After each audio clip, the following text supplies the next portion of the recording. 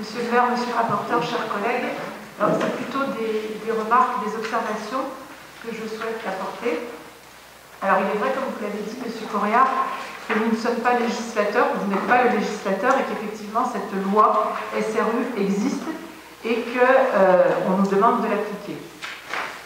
Sauf que ce contrat donc, entre l'État, la CCM et notre commune, nous ne pouvons être que contre ce, principe, parce qu'en fait ce principe va être en quelque sorte la mainmise de l'État socialiste sur l'urbanisation de notre commune.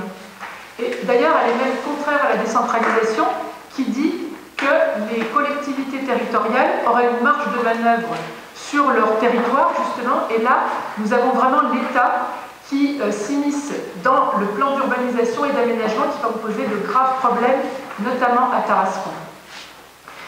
Je pense que c'est important que nous soyons conscients de la réalité de Tarascon pour savoir à quel point, si, vous appliquez à la lettre ce contrat, eh bien, nous, sommes, nous serons condamnés à la désintégration totale de notre collectivité locale.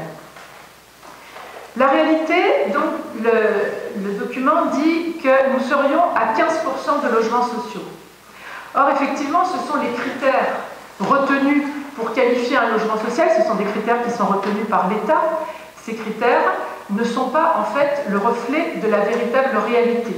Parce que si nous considérons qu'il n'y a que 15% de, de, logements sociaux, nous sommes aussi euh, tout à fait euh, conscients qu'il y a bien plus de Tarasconnais qui bénéficient de l'allocation logement.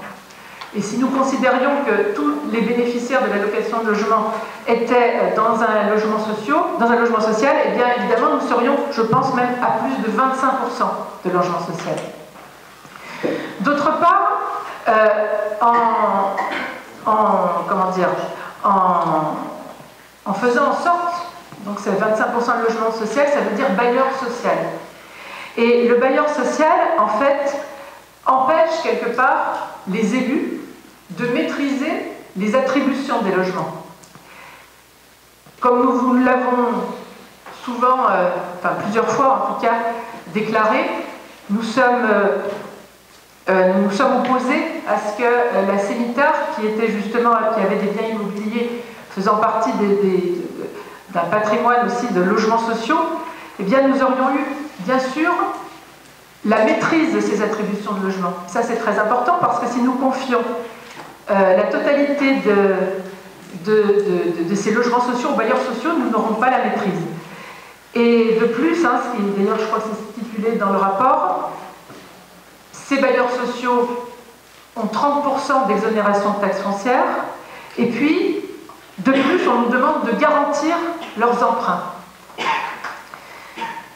En fait, la construction de ces logements sociaux, puisque nous n'avons pas la, la, maîtrise de l'attribution de ces logements, elle, elle ne profitera pas en priorité aux Tarasconnais.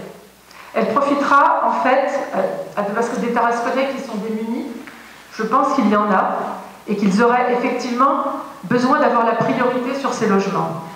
Or, finalement, cette construction de logements sociaux, elle entraînera inévitablement un phénomène qui est le suivant, c'est un appel d'air pour des nouveaux arrivants.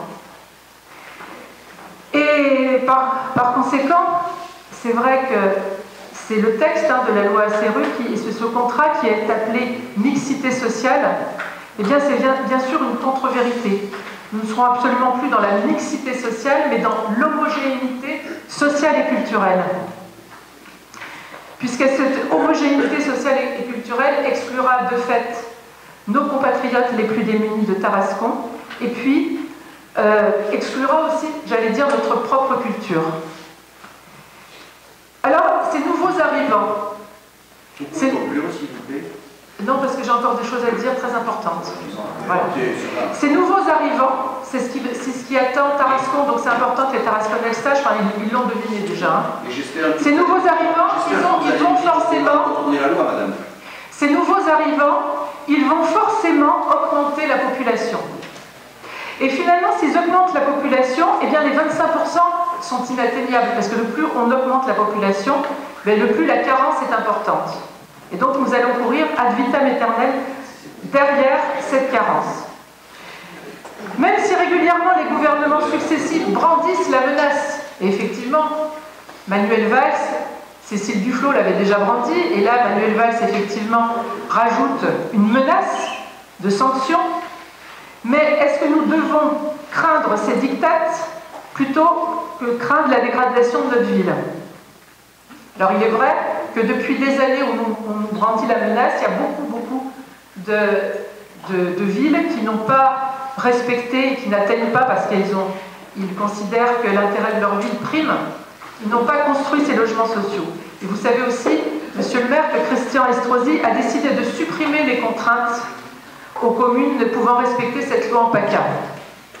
Je pense aussi que le gouvernement, est, toutefois, même s'il est un peu dictatorial, quand même un petit peu, même le temps à l'être énormément, euh, il a quand même conscience qu'il a diminué la dotation de l'État aux communes et que s'il s'avérait qu'il euh, contraigne à tel point les communes de construire ces logements sociaux avec leurs propres avec, avec les contraintes que ça va engendrer, je pense que ce serait vraiment de la pure dictature.